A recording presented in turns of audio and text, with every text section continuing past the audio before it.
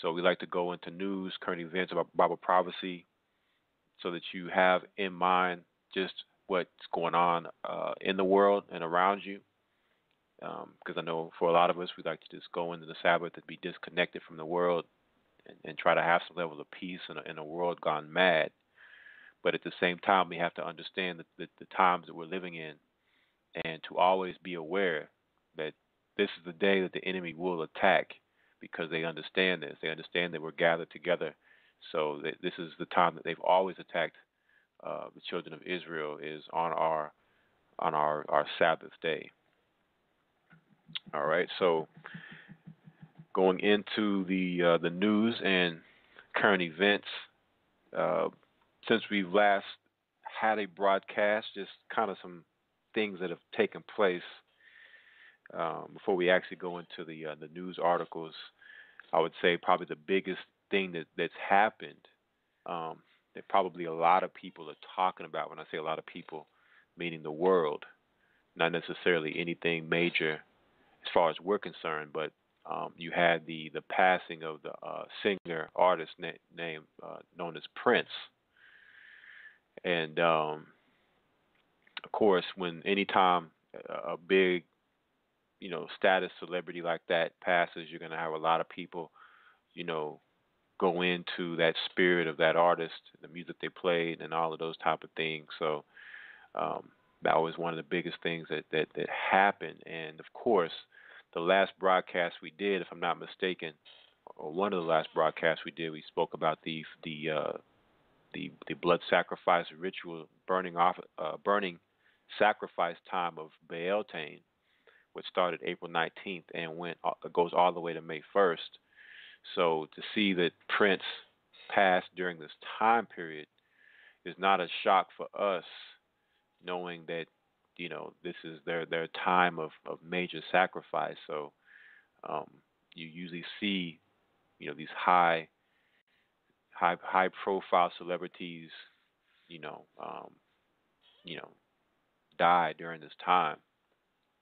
And of course, we understand that uh, majority of times when this happens, that this isn't a coincidence or just some fluke situation where he just got sick and died, but but an actual sacrifice. Um, and you don't need to look any further than go to uh, Family Guy or The Simpsons, and nine times out of ten, they're going to show you years ago a episode of this these particular celebrities getting killed and uh, in 2008 they had the uh, Simpsons show where uh, the uh, actual music execs came to Homer Simpson and told them that you know these entertainers and stars that don't fall in line with their agenda that they have to kill and get rid of, and so they asked Homer to go and kill Prince and get rid of him. So uh, they actually showed you know this happening to Prince back in 2008 part of their conditioning and, and predictive programming that they do, and uh, their Masonic. Um, you know, of course, these these guys um, who create these shows and these movies are always, um, you know, heavily initiates, heavily initiated as Freemasons. So they have, uh, you know, future insight on future events, and they, their job is to predictively program and condition us, um, whether we realize it or not. Um, so that's something that um, you have going on. You also have uh, you also had a situation where Obama was was saying that he was going to release the so-called hidden classified 28 pages of uh, of what really happened on 9/11. Of course, an- another false flag and, and total psyop.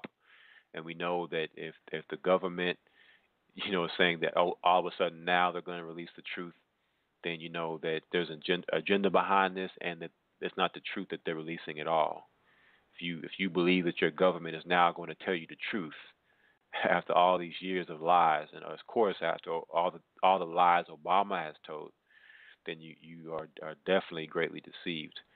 And uh, behind this, of course, they're saying that you know Saudi Arabia had had a key hand in 9/11, and the Saudi uh, kingdom has um, or should I say the, the Saudi regime, has said that they're going to dump 750 billion dollars worth of assets of, of America's, and uh, saying that you know that that will collapse and cripple the American economy if if this um, happens. So we see another scenario where um, uh, you know economic collapse is being you know kind of put in front of us, and also 911 shown. So it, it, this could be another predictive programming mechanism that Obama is showing that he's going to pull his own 911 event in the near future, um, possibly to stay in office as we get closer to this so-called election that's supposed to be happening this fall um, in America. So um, that that's kind of what I took from it is just him and and and and you know the powers that be showing that there's another false flag on the horizon and um, do, dealing with an economic collapse at the same time. So, um, so those are uh, some of the things that have that have you know kind of major major um, news pieces that have been put out there. Um, but as far as prophecy is concerned, the, the the main thing that has been happening is we've had a a, a, a serious increase in um, earthquakes and volcano activity especially along the Ring of Fire. You've had uh, it, it started maybe about um, a month ago. You had uh, uh, earthquakes in Japan, and then uh, volcanoes going off in Japan. You had volcanoes going off in Alaska, uh, volcanoes going off in Mexico. Earthquake happened in Ecuador. Um, more volcanoes going off down there in South America, and just recently, I believe either yesterday or the day before, had a major earthquake uh, off the coast of Australia, and I believe the island of Vanuatu. Um, so you see all this activity happening along this this what they call the Ring of Fire, but it, for whatever reason, all this major activity, you don't really see any major uh, event happening along the American coast there on the on the west coast. Um, so, and that's been that way for a long time now. You've seen these earthquakes. We had the uh, the nine point earthquake in Japan, which caused the tsunami. You've seen the major earthquakes in Chile and other parts uh, of the of the Ring of Fire, but for whatever reason, you're seeing no big event happening in America. But but understand that that will uh, soon not be the case. Um, and, and, what you can take from that is that the big one is building up. They're not going to have these six points, seven points in America. They're going to use that energy and allow it to continue to, to, to gather steam as the, as the snowball continues to get bigger and move faster down the hill. You'll see a major earthquake um, happening in America. Major earthquakes, but we do know one um, one earthquake in specific that's going to happen in America will be the biggest earthquake the world has ever seen. Um, and that is the one we, we read about in Revelation 16 that will break Babylon, which we know is uh, modern day America, into three pieces. It'll be so massive of an earthquake. All right, so so that's what we're going to go into tonight.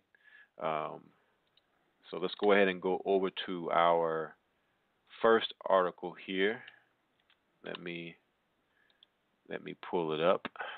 One moment.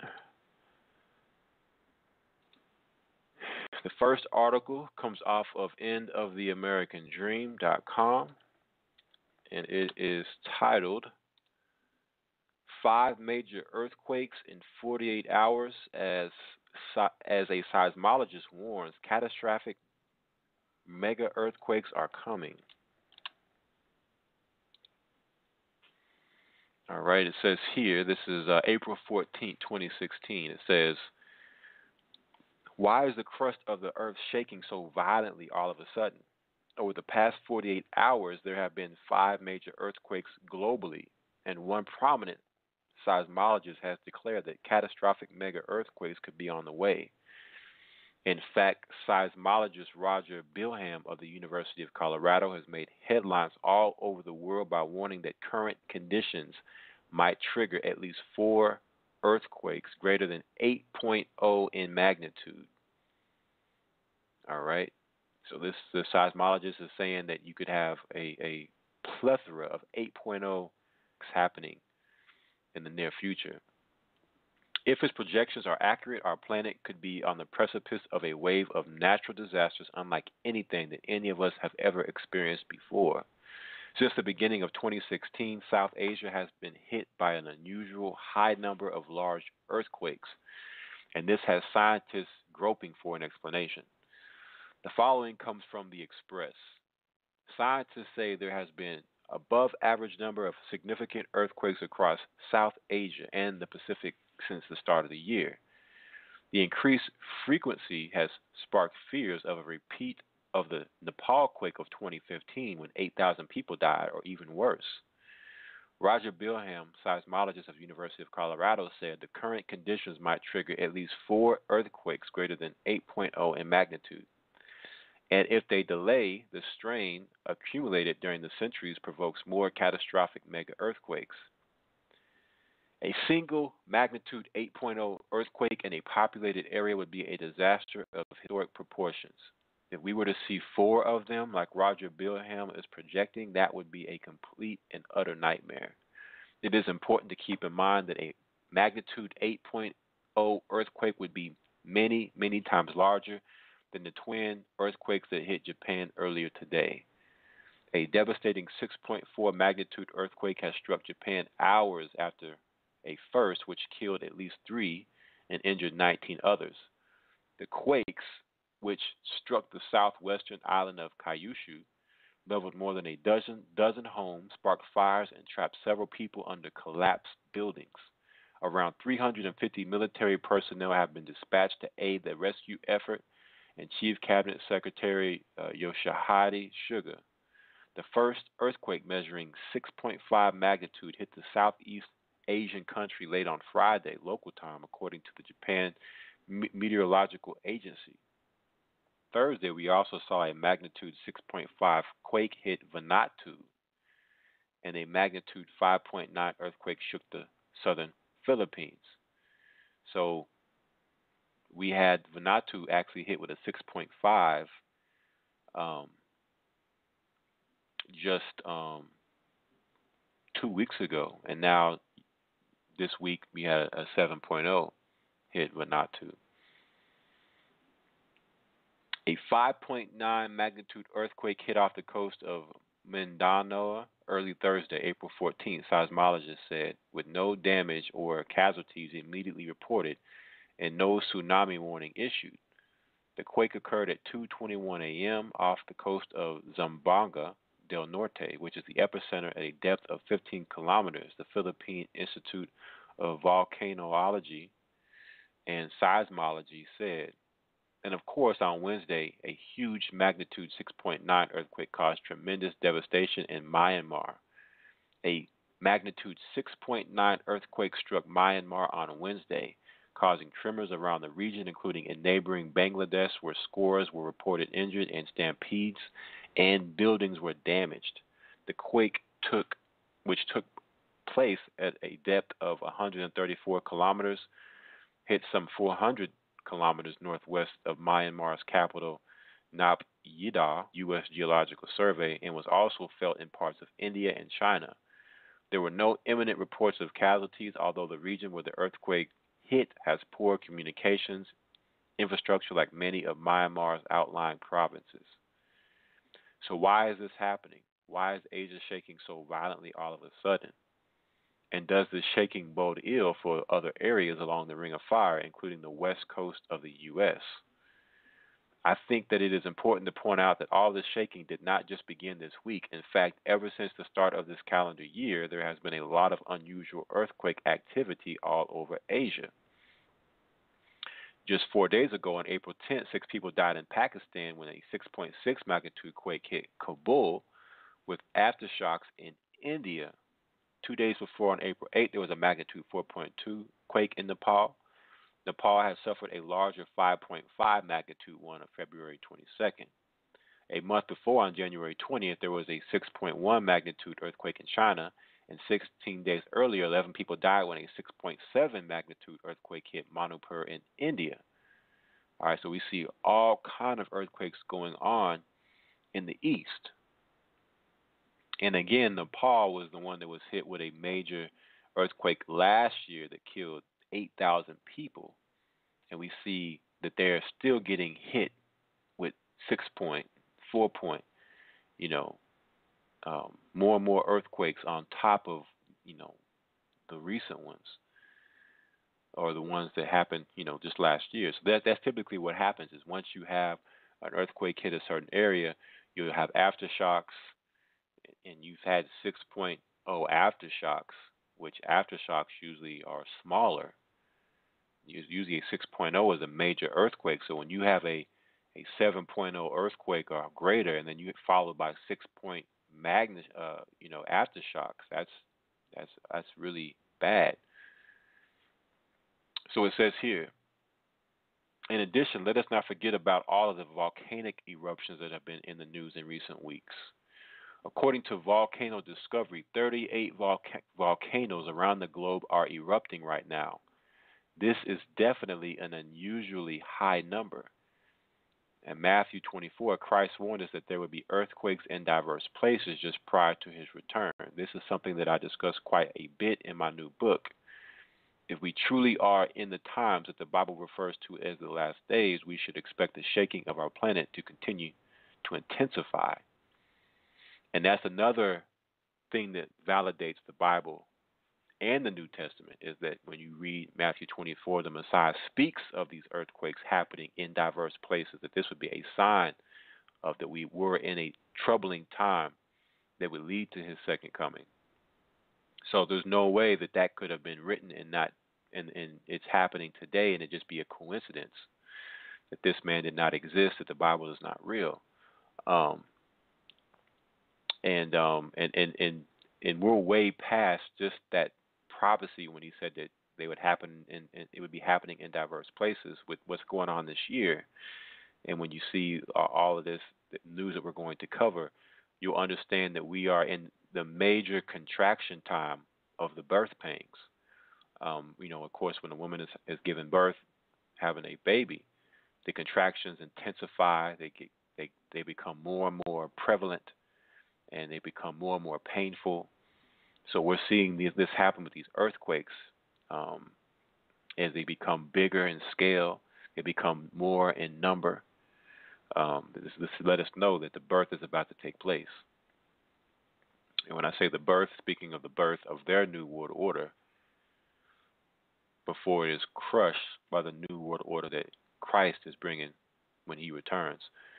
Um, but continuing on here, it says if seismologist Roger Bilham is right, and we do not begin to see a series of absolutely massive earthquakes that could dramatically change the course of world events literally overnight, even a single magnitude 8.0 earthquake in a major city in Japan, China, or the U.S. would cause global markets to crash.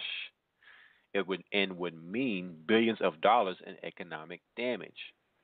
Right? So we're only one natural disaster away to cause the the economy to crash globally. It says here, so let us hope that the crust of our planet begins to stabilize. But let us also not ignore the warnings of the scientists. And let me add, let us not warn, let us not um, ignore the warnings of Christ. What they are warning us about right now lines up perfectly with what Christ warned us about nearly 2,000 years ago, and that is a very sobering thing to consider. All right, and we've talked about these earthquakes for a long time, many different broadcasts, many different lessons for the church. So this is not something that those who have been listeners or or those who are familiar with Bible, the Bible and Bible prophecy, there's nothing that you are, um, you know, surprised to see. Maybe um, when it happens, it, it's just surreal to see this prophecy unfolding, but it's nothing that is um, that we didn't already know was going to take place. All right, so let's go to the uh, the next article also on end of the AmericanDream.com. One moment, let me get it here.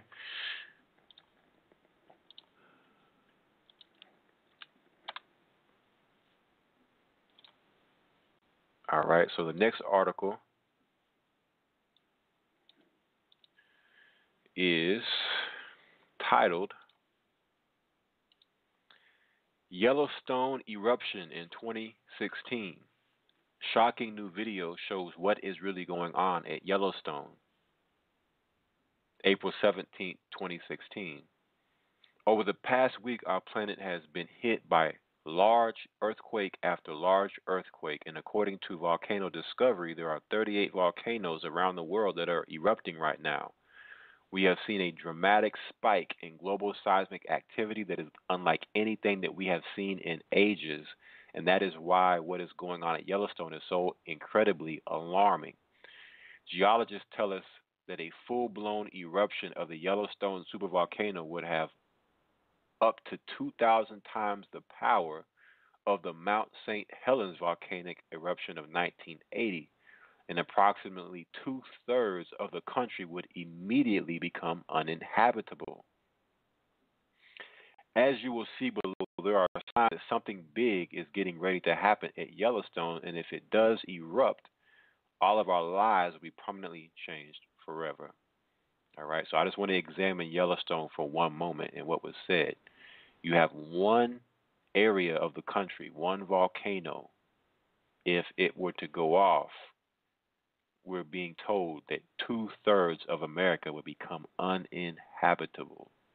That's just one natural disaster from one specific situation that can cause a natural disaster. We're not talking about all the other fault lines, all right? We're not talking about um, these events happening and the nuclear power plants melting down. We're not talking about, um, you know, the fact that other countries are heavily in the news talking about how they want to nuke America and send nukes in.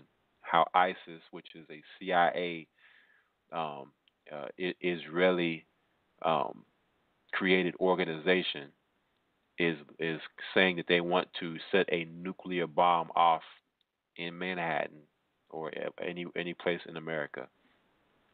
All right, so all these other things coupled with a volcano, two thirds of America uninhabitable, and Yellowstone is so so massive of a uh, you know uh, of a of a of a, of a uh, I don't even know what you want to call it. It's a natural a a natural um, disaster scenario that it would actually affect the whole world with what it would shoot up into the sky and the fact that you would have uh, the sun blocked out and and um, you know you would have a, you know temperature drops. You would have crop die-offs worldwide just from Yellowstone. It's so massive. It says here I want to show I want to share with you some footage from Yellowstone that was recorded on Thursday night. In this video, it appears to be as bright as day, even though it is the middle of the night. You can see a whole host of geysers steaming violently, and Old Faithful just keeps going off over and over. So you have a video here on the website, and basically it's nighttime, but it looks like it's daytime because it's so much stuff going on. Uh, lighting up the sky in Yellowstone Park. And we've talked in, in the past about um, Yellowstone was actually uh, the the pavement and the concrete that the ground, the, uh, the the the roads that are laid in that area actually ha- have been melting because the ground is getting so hot there. Um, so we we've seen Yellowstone continue to escalate uh, over the years, and and now it is it is like it's it's getting you know warmed up. Like if you had a uh, a locomotive or a train, and you see you know just more and more steam coming out the top, more and more smoke coming out the top as you start to throw more and more fire, more and more uh, wood on the fire, and it's just getting revved up. It says here the stunning footage was posted by a YouTube user known as Kate Martin 2016, and the following is what she had to say about the video that you just saw. There are places steaming I have never seen steam before, and also note that the bright ground is back. There are no shadows, so it is not from above. As you know, the cameras were froze up last night, so we could not see what was going, or so we thought. I found a way. Somehow, don't ask me how, The geyser observation study site was able to capture the entire night with no freeze ups and cutting in and out. How is that? Anyway, I got it and slowed it down so you can see better. Old Faithful has weird seismos had weird seismos last night and was going off constantly. But it wasn't just that one night. The weird activity at Yellowstone has continued, and you can watch even more recent footage that Kate Martin has posted right here and right here. So, what does this mean? I don't know, but watching that footage definitely got my attention. And it is interesting to note that just a few weeks ago, the Shoshone River changed color and started boiling without any warning whatsoever. It says the Shoshone River near Yellowstone National Park suddenly and without warning started boiling, changed color, and began to emit a sulfuric odor on March 25th. Nearby witnesses wondered if they were all going to die. The current consensus, consensus among geologists and other experts is that a portion of the Shoshone River began to boil, located near Cody, Wyoming, and a new Yellowstone vent has opened up. As Mysterious Universe reports, the boiling river near Yellowstone runs just east of Yellowstone National Park. It is close enough to the park and supervolcano to be a canary in a coal mine as it relates to unusual geo, uh, geothermic events.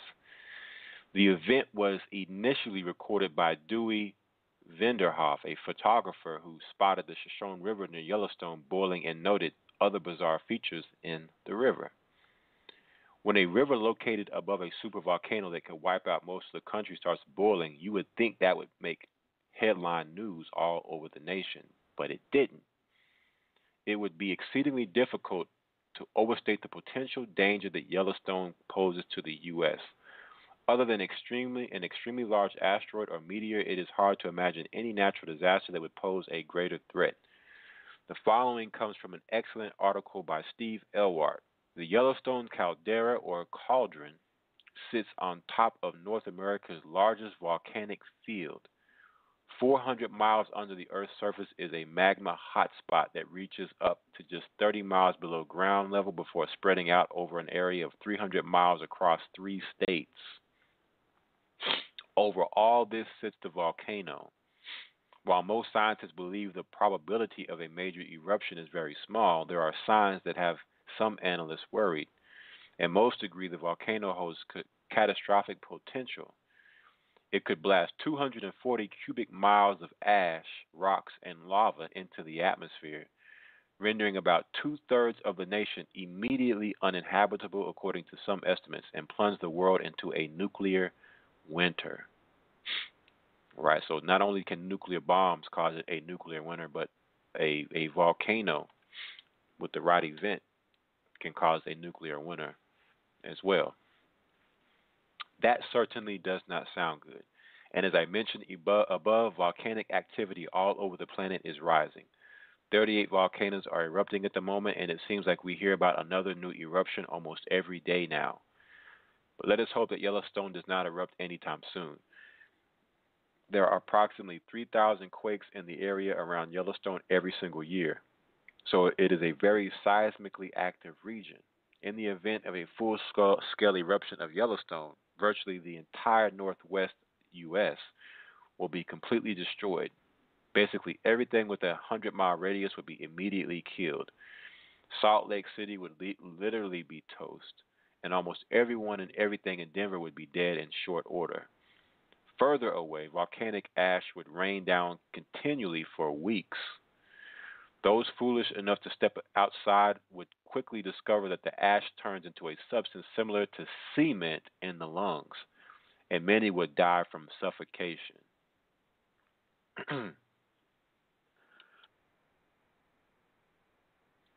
the amount of volcanic ash released by Yellowstone would be almost unimaginable.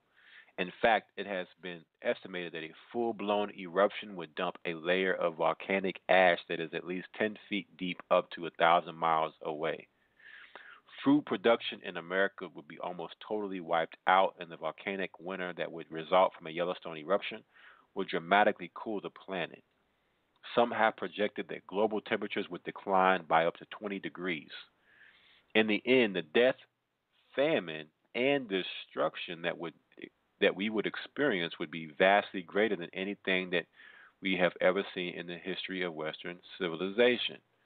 Now, reading that particular sentence reminds me of Revelations 18 when it talks about the plagues that would happen on Babylon um, death, mourning, and famine, and she shall utterly be burned with fire. So, yeah, we know that the missiles are coming to America, but these natural disasters like volcanoes shooting up hot ash will play a part in the fire raining down on America. The fire and brimstone that rains down, and it has a similar judgment that we saw when we read in Sodom and Gomorrah. It says here, so yes, there is a reason to be concerned that weird stuff is going on at Yellowstone right now. Let us just hope and pray that we do not see an eruption in 2016 or anytime soon. All right, so you know, again, you've seen these volcanoes and earthquakes going off along the Ring of Fire in other parts of the world, but not America. So Americans are being kept in the dark because when these things like what we see with Yellowstone are happening, they're not speaking about it. So because they know it, it would cause mass panic, they want to keep American people uh, in a, in a state of psychosis or or, or zombie-like nature. Um, until the big event takes place, and, and then it'll be too late to do any preparation. But for those who think that it's this is happening all over the world, and it's not going to happen to America, they are greatly deceived because this is this is going to be great destruction and plagues um, that's going to happen to America from all of these particular scenarios that we discuss uh, and have discussed. All right, so let's go. Speaking of volcanoes, let's go to our next article here. One moment. The next article comes off of endoftheamericandream.com. And it is titled The Shaking Continues. The most dangerous volcano in Mexico has erupted in spectacular fashion. April 19, 2016. More than two, more than 25 million people live in the vicinity of Mount uh, uh, Popocatépetl, including Mexico City's 18 million residents. At 2:32 local time on Tuesday mo- morning, the most dangerous volcano in Mexico roared to life in spectacular fashion and this has many experts extremely concerned about what is coming next. Uh, Popocatépetl is an Aztec word that means smoking mountain, and historians tell us that once upon a time, entire Aztec cities were buried in superheated mud from this volcano. In fact, the superheated mud flows were so deep that they buried entire Aztec pyramids. A full blown eruption of Mount Popocatépetl would be a, a, a catastrophe unlike anything that modern Mexico has ever experienced before.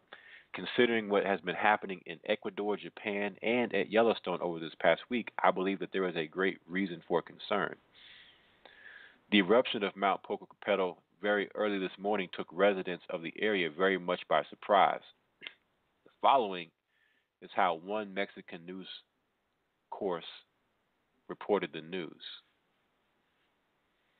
The volcano Popocatépetl came to life at 2:32 this morning, sending out a column of ash that fell on much of the city of Puebla and closed the airport. the Natural Disaster Prevention Center, CENAPRED, said the volcano spewed ash to an altitude of about three kilometers above the crater. The explosion was accompanied by the emission of uh, incandescent fragments which were reported to be landing up to 1.6 kilometers away, northeast of the volcano, which is commonly known as El Popo. But words could not really describe how, how spectacular this, this eruption was.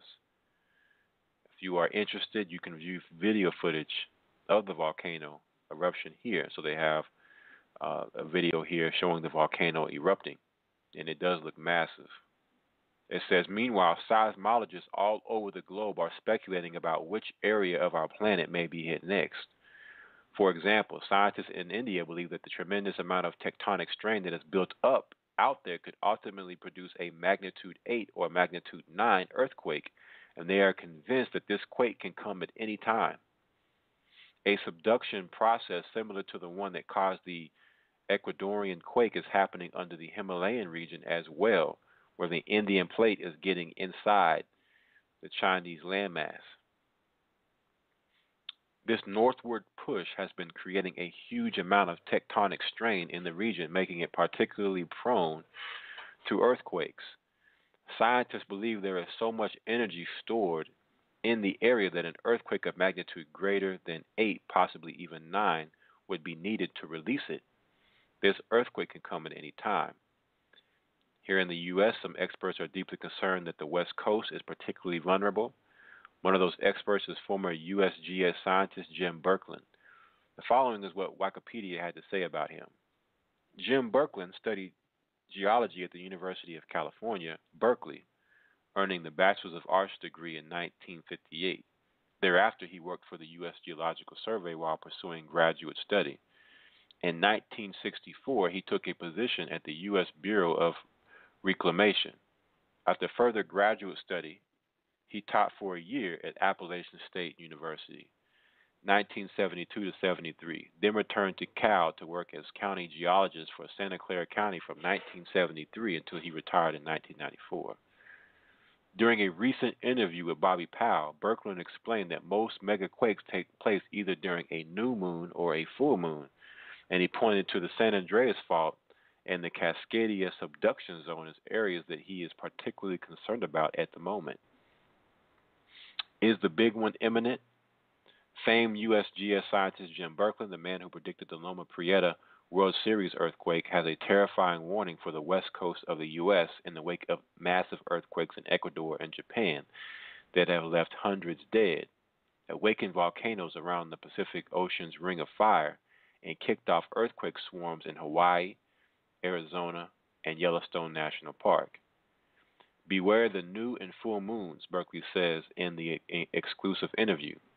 The Maverick geologist says that 20 of the last 25 mer- megaquakes have occurred on the dates of new and full moons, the result of uh, equinoctial tides, extremely uh, gravitational forces that cause solid Earth to expand and contract much as ocean tides rise and fall.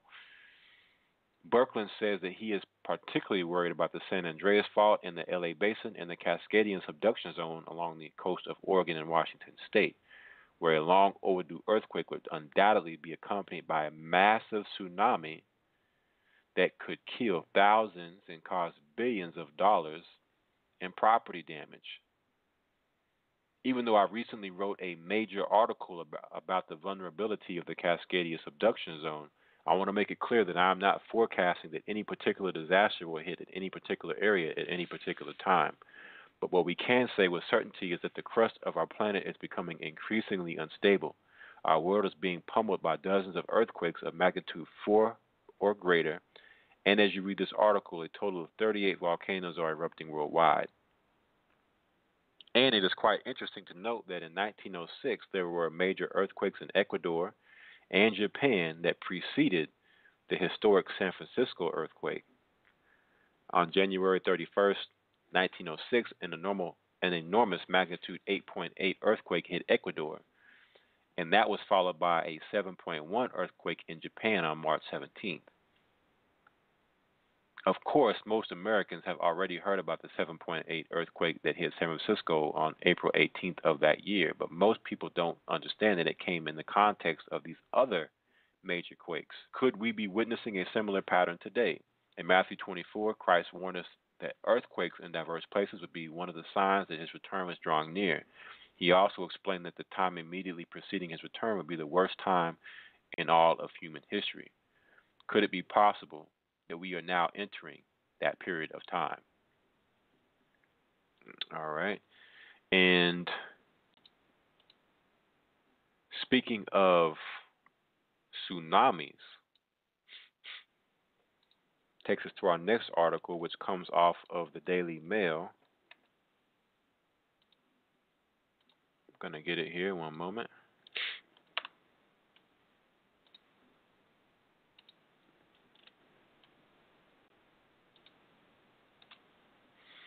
The next article is titled Is America Ready for a Tsunami?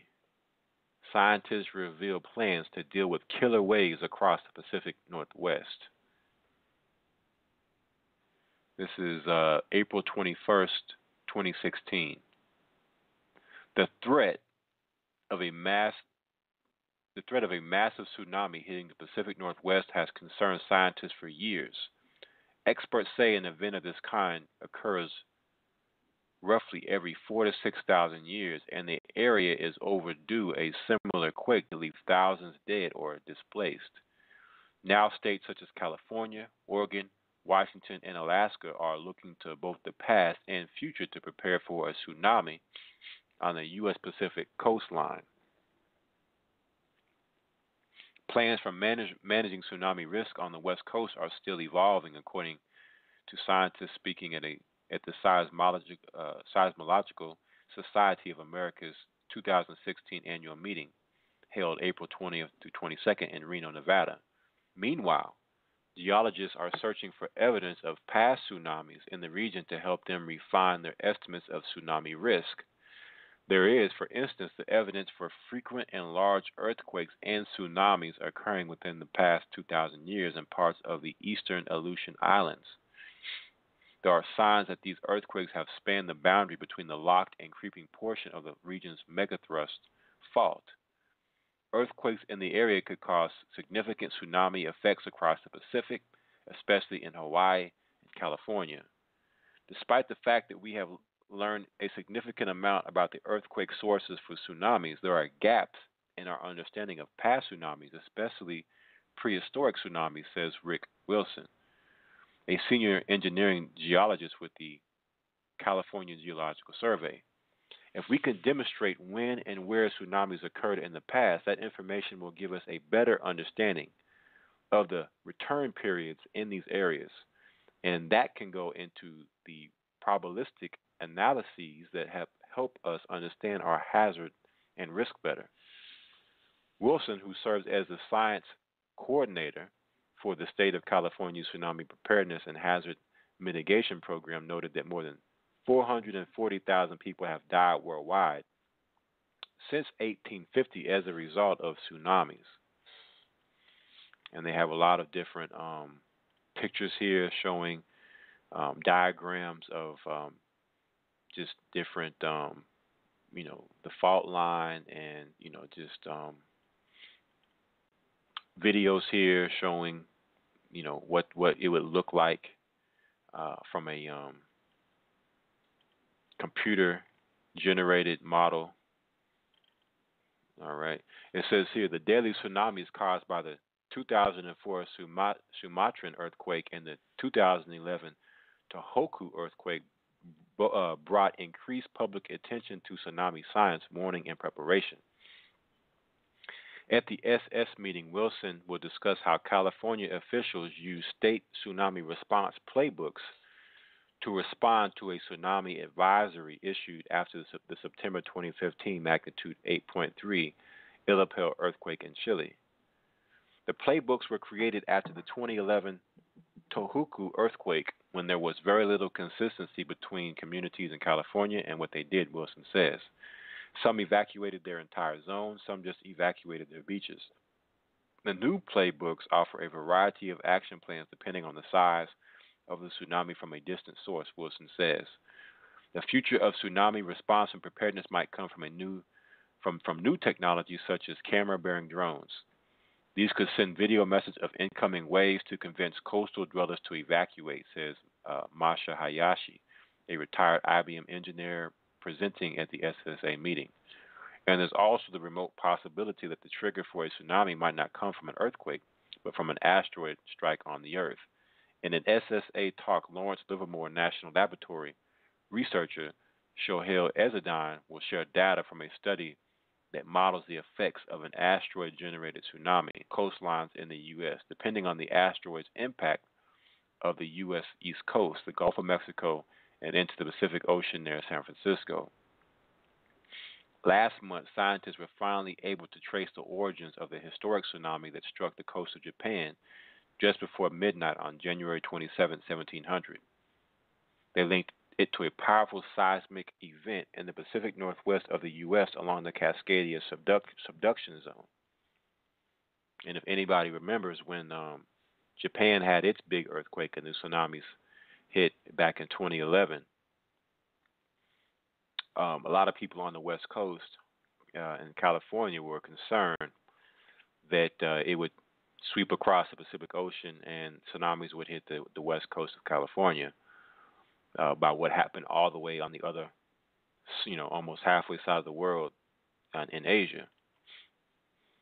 It says here, Cascadia can make an earthquake almost 30 times more energetic energetic than the San Andreas to start with. Chris Goldfinger, a professor of ge- geophysics at Oregon State University, told CNN. Then it generates a tsunami at the same time, which side by side motion of the San Andreas can't do. The Cascadia could deliver a huge 9.0 meg, uh, magnitude quake, and the shaking could last anything from three to five minutes, scientists claim. Case three minutes, and I've been in a nine in Japan. Three minutes is an eternity, said Goldfinger. It is a very, very long time. Goldfinger says we'll lose bridges, highway routes, and that the coast will probably be entirely closed down. As a result, it would be difficult to get around and rescue crews would be overwhelmed. Federal, state, and military officials have been working together to draft plans to be followed when the big one happens. These contingency plans reflect deep anxiety about the potential gravity of the looming disaster, upward of 14,000 people dead in the worst case scenarios, 30,000 injured, thousands left homeless, and the region's economy set back for years, if not decades. As a response, what planners envision is a deployment of civilian and military personnel and equipment that would eclipse the response to any natural disaster that has occurred thus far in the U.S. There would be waves of cargo planes, helicopters, and ships, as well as of, of ten thousands, ten, tens of thousands of soldiers, emergency officials, mortuary teams, police officers, firefighters, engineers, medical personnel, and other specialists. The response will be uh, orders of magnitude lar- larger than the Hurricane Katrina or Superstorm Sandy. And Lieutenant Colonel uh, Clayton Braun of the Washington State said Lieutenant Clayton Braun of the Washington State Army National Guard. Oregon's response plan is called the Cascadian Playbook, named after the threatening offshore fault, the Cascadian Subduction Zone. The plan unveiled last year has been handed out to key officials to the state so that the state can respond quickly when disaster strikes. That playbook is never more than 100 feet from where I am, said Andrew Phelps, director of the Oregon Office of Emergency Management. A magnitude 9 earthquake and tsunami that devastated parts of Japan in 2011 gave greater clarity to what the Pacific Northwest needs to do to improve its readiness for a similar catastrophe. The Japanese quake and tsunami allowed light bulbs to go off for policymakers, Phelps said. Much still needs to be done, and it is impossible to fully prepare for a catastrophe of this magnitude. But those responsible for drafting the evolving contingency plans believe that they are making headway. Worst case scenarios show that more than a thousand bridges in Oregon and Washington state could either collapse or be so damaged that they are unusable. The main coastal highway, U.S. Route 101, will suffer heavy damage from the shaking and from the tsunami. Traffic on I 5, one of the most important thoroughfares in the nation, will likely have to be rerouted because of large cracks in the pavement. Seattle Portland and other urban areas could suffer considerable damage, such as the collapse of structures built before codes were updated to take into account a megaquake. The last full rip of the Cascadian subduction zone happened in January 1700. The exact date and destructive power was determined from buried forest along the Pacific Northwest coast and an orphan tsunami that washed ashore in Japan.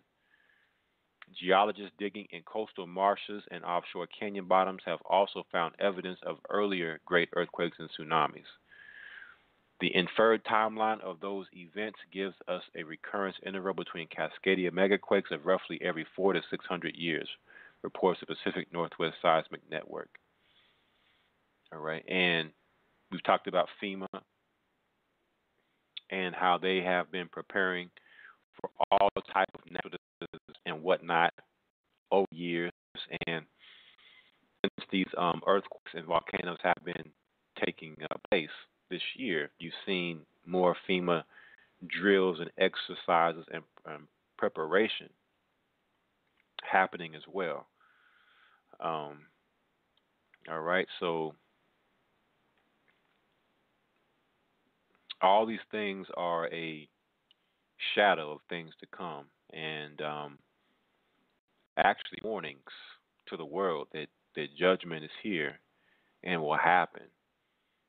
It's just the fact of uh, you know will we actually you know take heed to the warning and we given ample time to uh, repent and get ourselves right and together. But um, again, when you're living in a in a world gone mad, um, and, and people so bent on doing whatever they want to do, and um, you know nobody's paying attention that judgment is coming.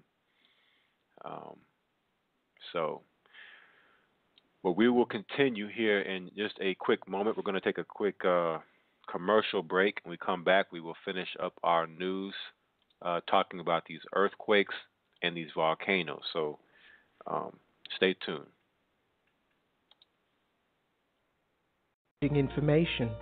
If you have health challenges that are not being resolved, then pay a visit to brnaturally.com. Did you know that the Creator designed the body to regenerate? Weaknesses can be strengthened and the body brought back into balance to function at its optimum state.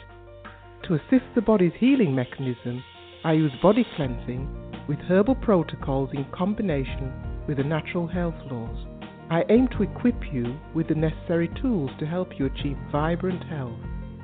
If you have the faith and commitment to do what is necessary to regain your health, then you are on the winning side. The initial 15 minutes talk is absolutely free. Visit www.brnaturally.com. Join the health revolution today.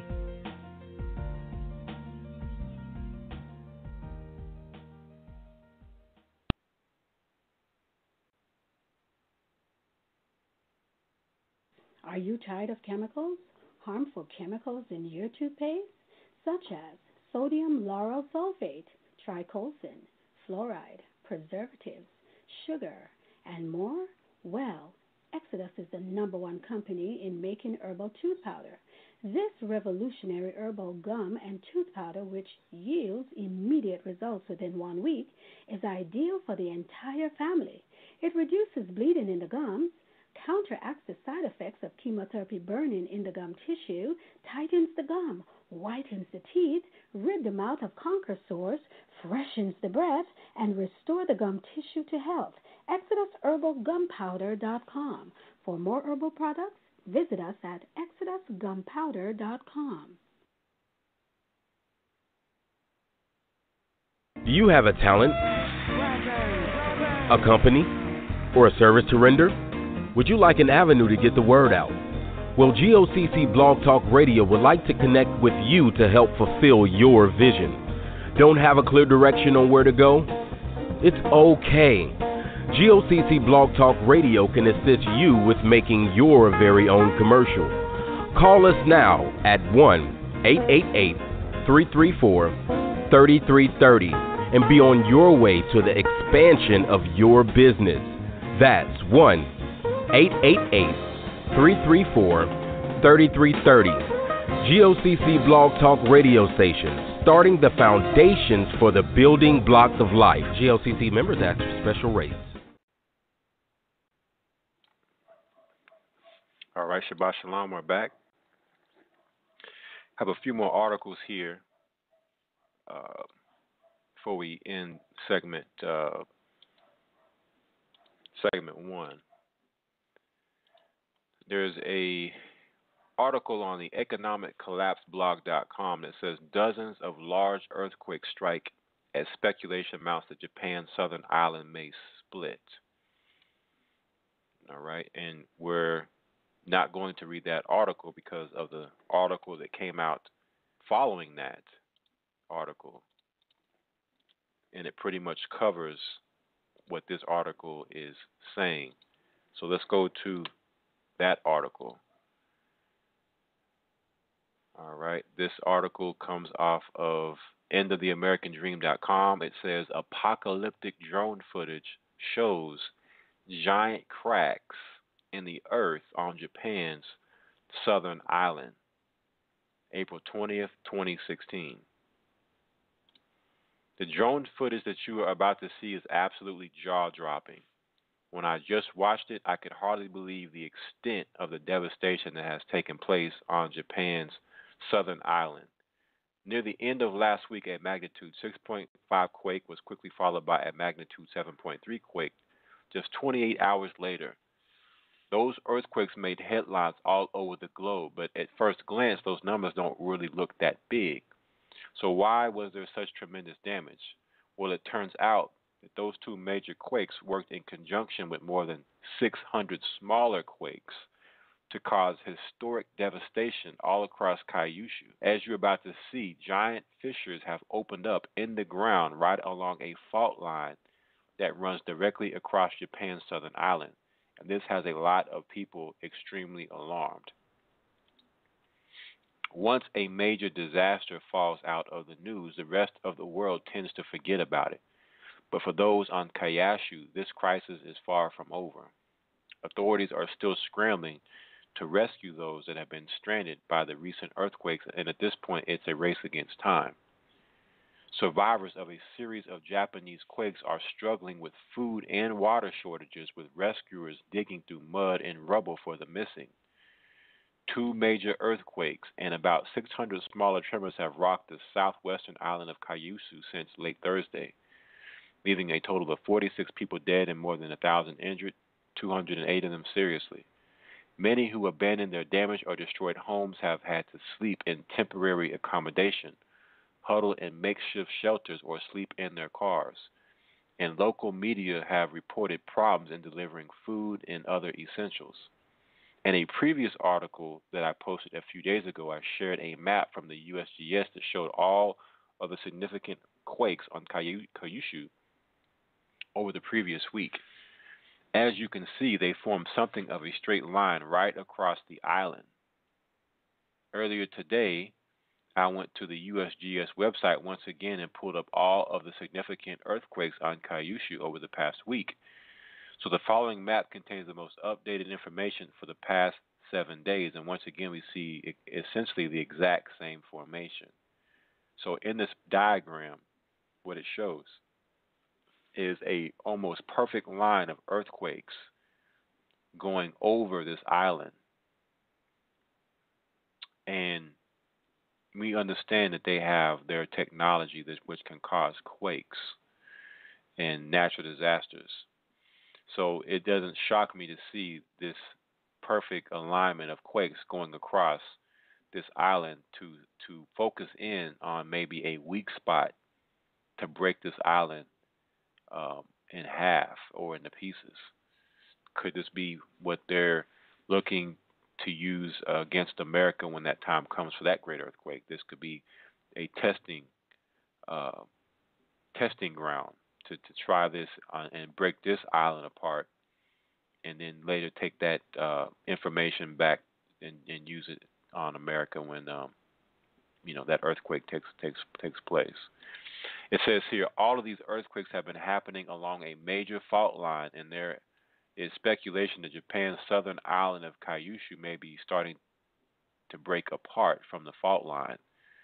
Of course, this kind of thing has happened a lot in the history of our planet, but nobody is quite sure that that might what that might mean for Kyushu.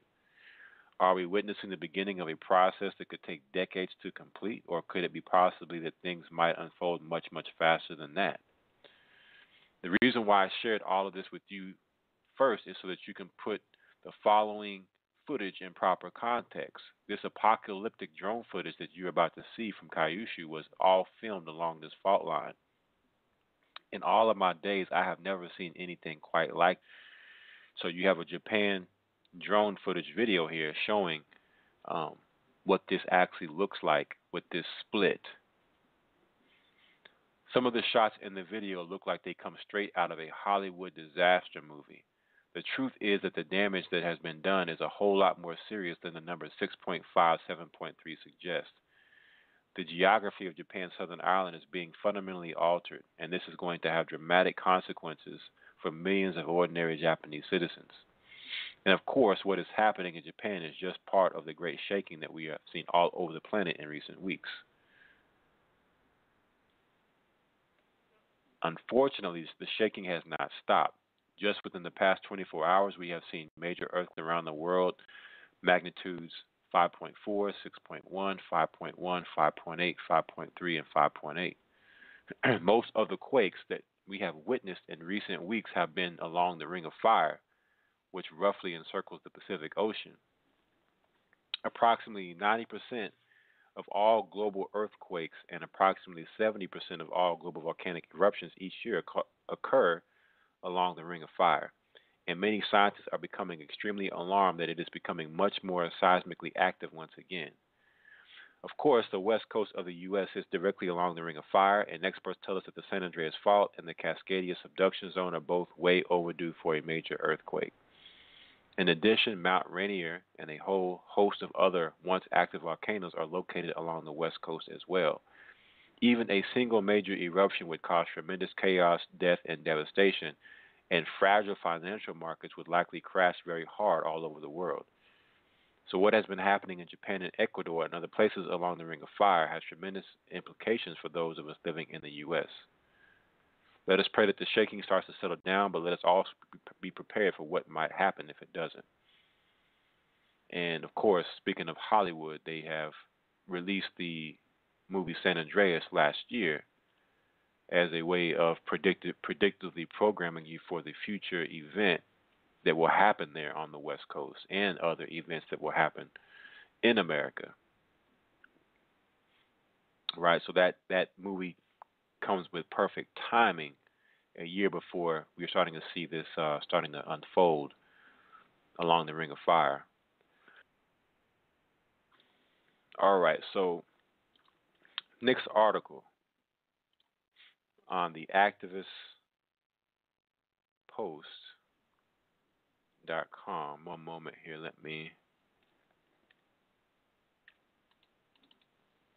get the article here.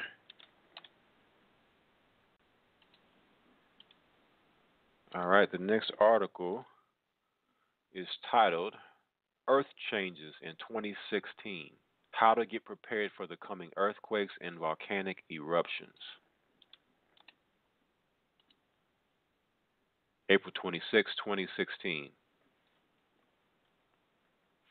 All over the world, seismic activity is increasing. In recent weeks, we have seen a dramatic earthquake in Ecuador. More than 600 earthquake experts extremely alarmed about what is happening to, to Japan's southern island. And 37 volcanoes around the planet are erupting right now. Most of the large earthquakes and volcanic eruptions that we have witnessed lately have come along the Ring of Fire, which is an area of seismic instability which roughly encircles the Pacific Ocean. Fortunately, the west coast of the U.S. has been spared so far. Scientists tell us that the tension has been building up along the San Andreas Fault and the Cascadian Subduction Zone for decades, and they assure us that it is only a matter of time before we see a major event. When that day arrives, will you be prepared? There were a couple of notable seismic events which took place on Monday. First of all, the largest volcano in Russia's far east, known as Klyuchevskaya Sopka, violently erupted. Steaming hot ass was shot more than three miles up into the air, but fortunately, it is not a heavily populated area. So we see a, a volcano going off in Russia, which is something that you really never hear about Um, this represents yet another major volcanic eruption along the Ring of Fire, and this has some scientists extremely concerned about what may be coming next. Here in the U.S., an unusual swarm of 21 earthquakes along the Arizona Nevada border is also raising eyebrows.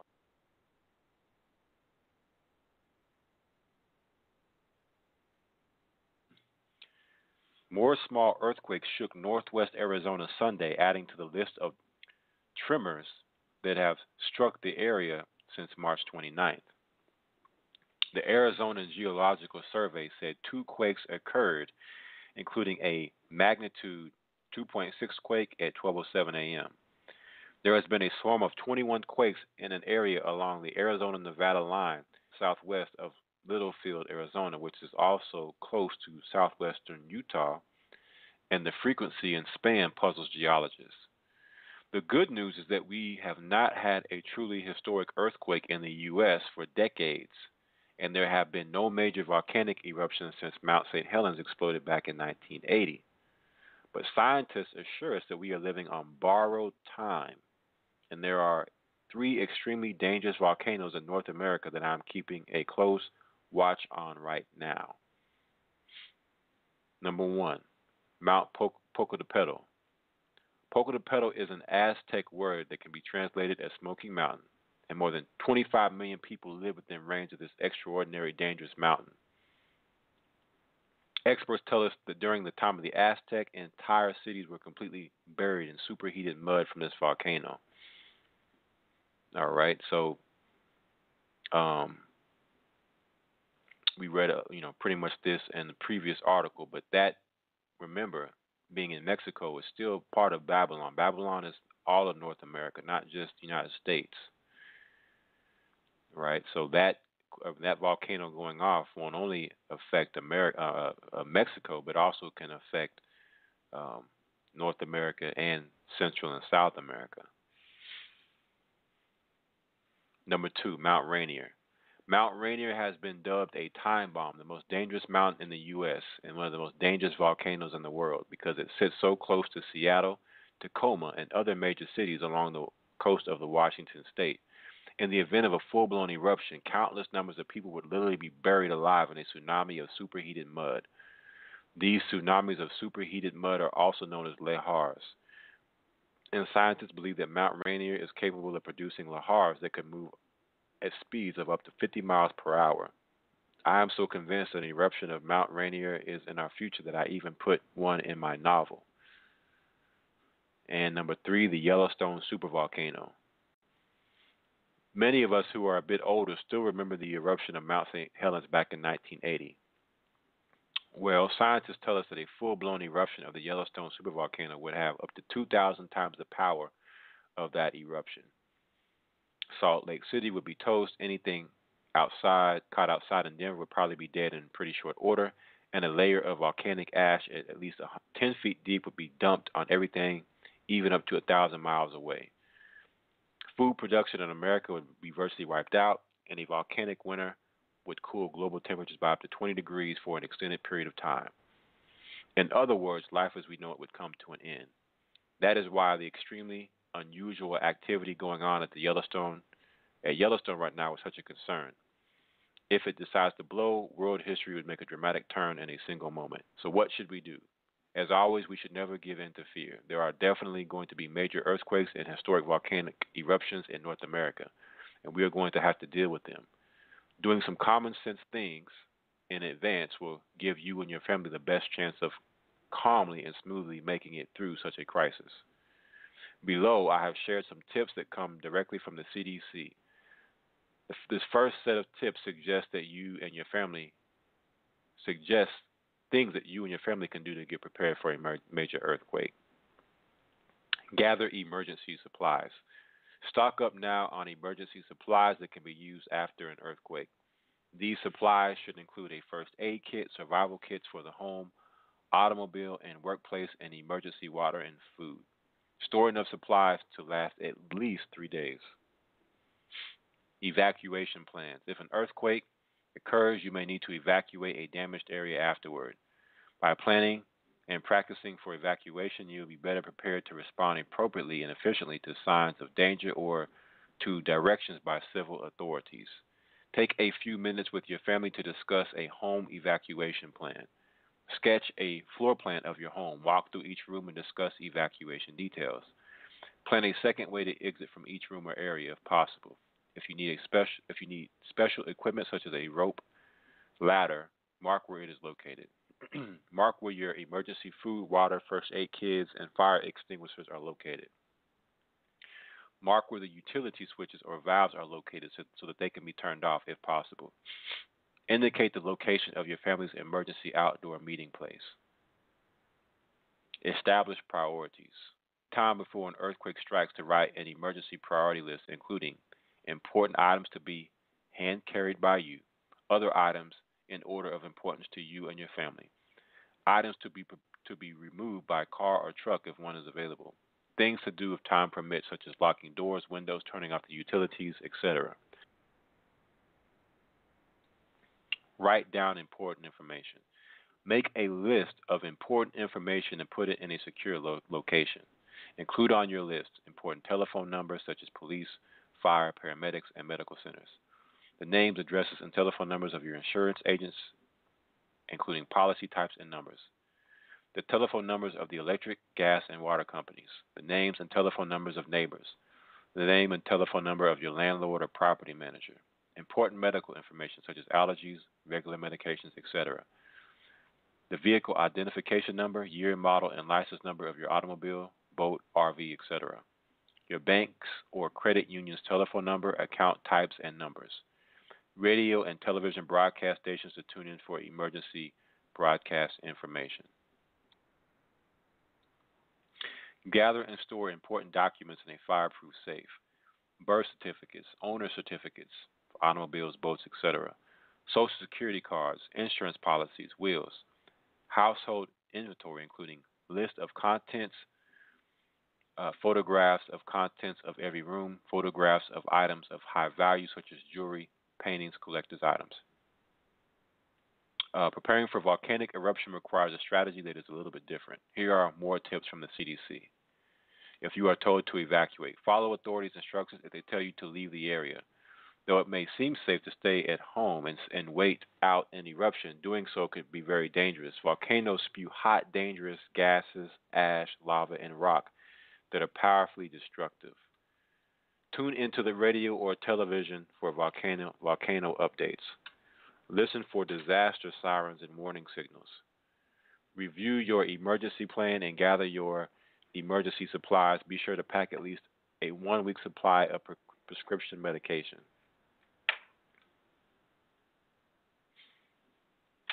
Prepare an emergency kit for your vehicle with food, flares, booster cables, maps, tools, a first aid kit, a fire extinguisher, sleeping bags, a flashlight, batteries, etc. Fill your vehicle's gas tank. If no vehicle is available, make arrangements with friends or family for transportation or follow authorities' instructions on where to obtain transportation. Place vehicles undercover if at all possible put livestock in an enclosed area. Plan ahead and, and take pets with you, but be aware that many emergency shelters cannot accept animals. Fill your clean water containers. Fill sinks and bathtubs with water as an extra supply for washing. Adjust the thermostat on refrigerators and freezers to the coolest possible temperature. If the power goes out, food, food will stay cooler longer. As you evacuate, take only essential items with you, including at least one week's supply of prescription medications. If you have time, turn off the gas, electricity, and water. Disconnect appliances to reduce the likelihood of electrical shock when power is restored. Make sure your automobile's emergency kit is ready. Follow designated evacuation routes, others may be blocked, and expect heavy traffic delays. If you are told to take shelter where you are, Keep listening to your radio or television until you are told all is safe or you are told to evacuate. Local authorities may evacuate specific areas at greatest risk in your community. Close and lock all windows and outside doors. Turn off all heating and air conditioning systems and fans.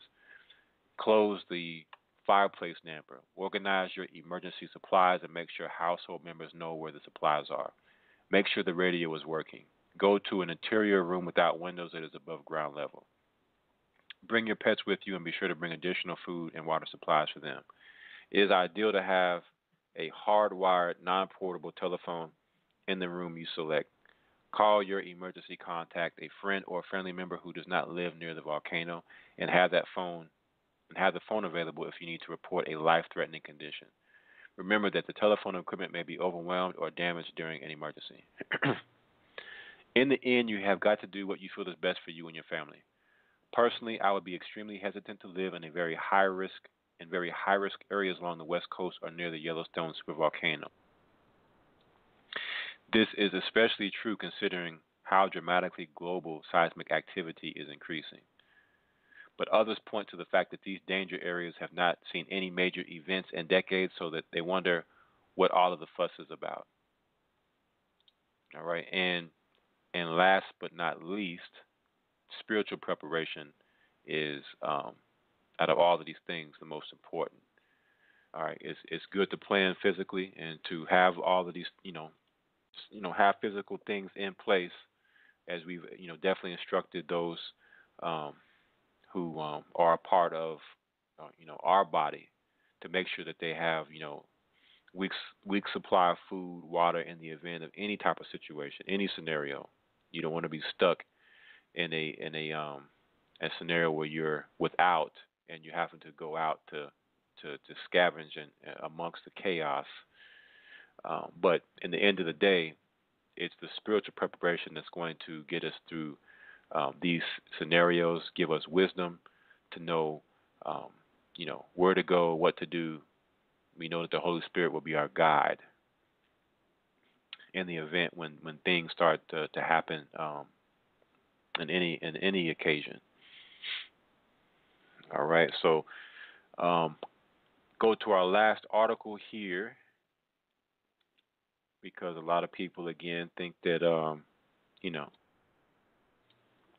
all of this will continue to um, pass America by, and that there's not really anything happening in America. But we've seen plagues on America for quite some time now. All right, this takes us to uh, let's see here. endoftheamericandream.com. And the name of the article is Houston Flooding is the eighth historic flood to hit America since the end of September. April 18, 2016. It says, Why has the U.S. been hit by historic floods after historic flood in recent months. The flooding that is pummeling the city of Houston is the eighth historic flood in this country since the end of September. City officials down in Houston have labeled the flooding that is currently spamming the city a life threatening emergency, and they are insisting that Houston residents should avoid travel at all costs today.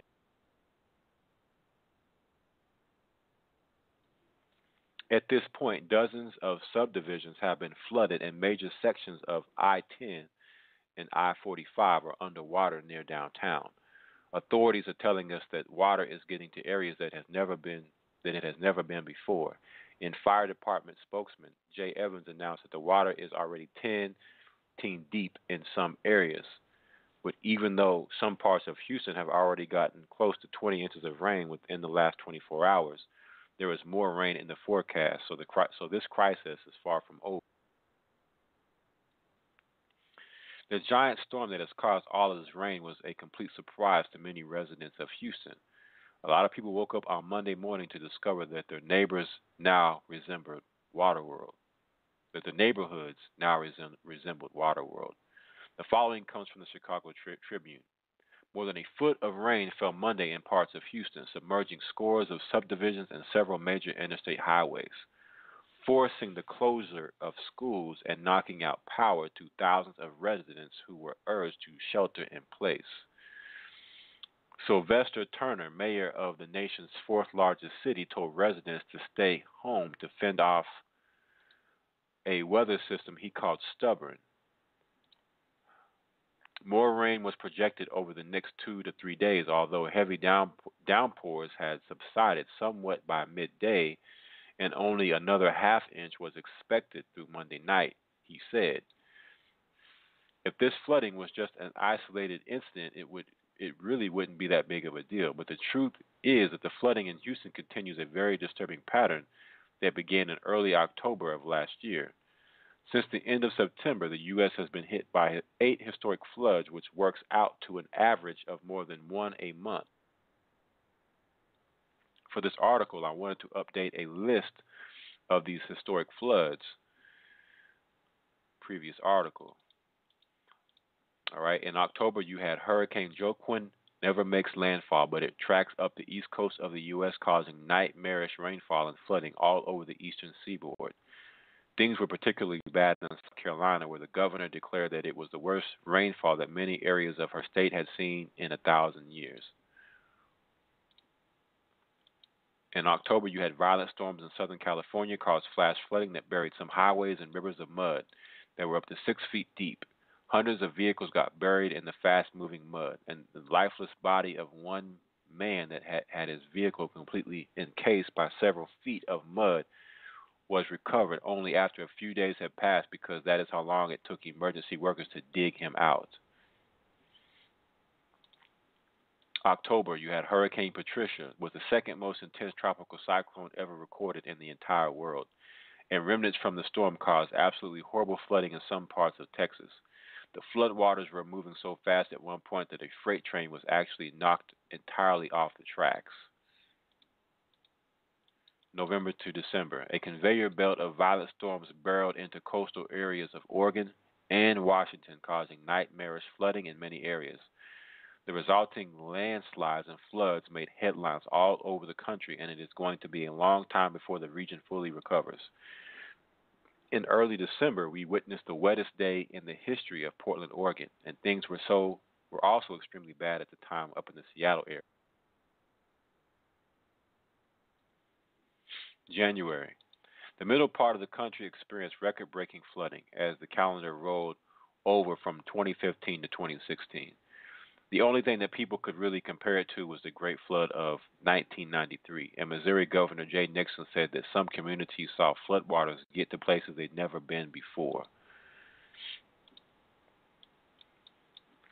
Normally, if the middle of the country is going to see flooding like this, it is going to take place when the snow begins to thaw in the spring. For something like this to happen in the middle of the winter was absolutely unprecedented right? And you see how all of these events, everything is unprecedented or of biblical proportions as something that has not been seen uh, in a long time or ever before, and, and totally unexpected. also in January, on the 22nd, one of the worst East Coast blizzards in history slammed into D.C., New York City, and other major uh, metropolitan areas. More than three feet of snow was dumped on some areas. Hundreds of thousands of people were left without power, and coastal cities all along the eastern seaboard experienced flooding that was described as worse than Hurricane Sandy. It is also interesting to note that this storm was known as Jonas, which is actually a Greek trans- transliteration of the Hebrew name Jonah. Jonah, of course, was a Hebrew prophet that was sent to the capital city of Assyria and Nineveh to warn that the judgment of God was coming.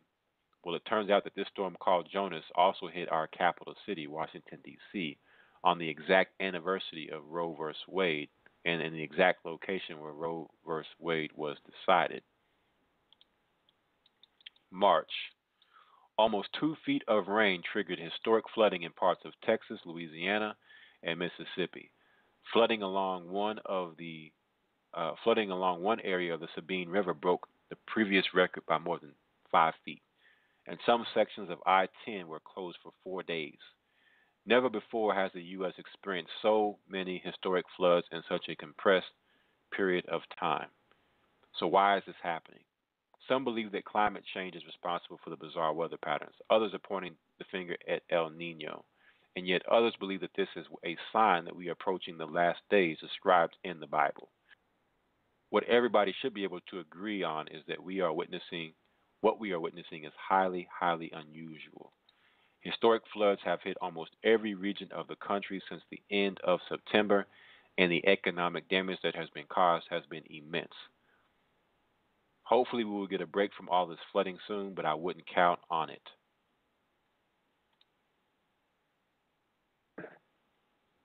All right. So,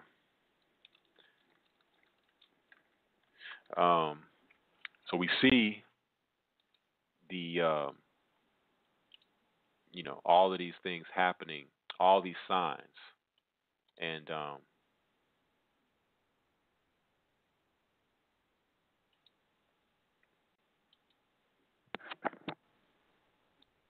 Uh, just one moment here. I'm not sure if anybody else is able to hear me, but I'm getting some um, reports in that I can't be heard. So um, let me see here.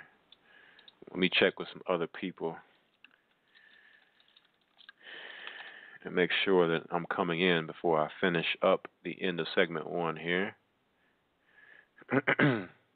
okay, all right. So um, I'm getting some reports that uh, I, I, am being able to be heard. So if somebody is not able to hear me, it is something on their end. All right. So uh, so again, you know, we had the Supreme Court ruling last summer uh, of of legalizing sodomy and, and the sodomy laws that those things continue to happen. You have this uh, this bathroom, you know, bill situation happening where they are looking to, uh, you know, allow men to go in women's restrooms and women to go in men's restrooms, depending on what gender you feel like for the day. Um, this controversy. So you're continuing to see this blasphemy and mocking in the face of the Most High. Um, so it's no wonder that these events are happening to America. And just as ancient Egypt was hit with plagues, we know that modern Egypt, modern Babylon, modern Sodom and Gomorrah will continue to be hit with plagues.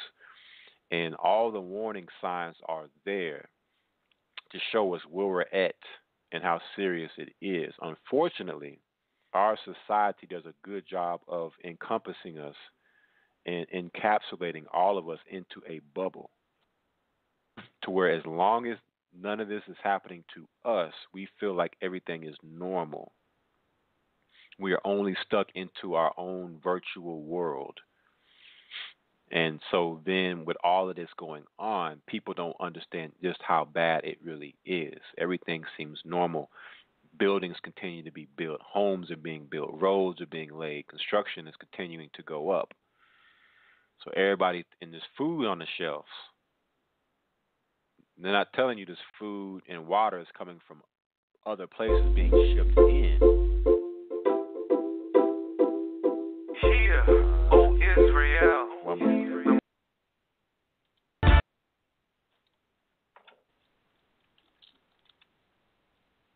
Moment.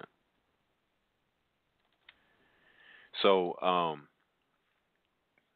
so everybody thinks everything is normal, but when it happens, when when when the events start to happen on a level that collapses things, it will be it will be too late to realize um, these things that your food is coming from other countries and that supply will be cut off. And if there's no food being grown locally, then what will you have to eat? Especially when you have pandemonium and chaos ensuing, people will become vultures. People will become hyenas and, and scavengers.